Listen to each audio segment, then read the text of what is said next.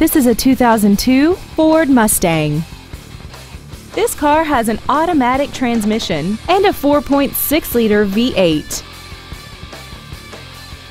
All of the following features are included a multi link rear suspension, a sports suspension, a leather wrapped steering wheel, traction control, a passenger side airbag, door reinforcement beams, air conditioning, and this vehicle has less than 42,000 miles.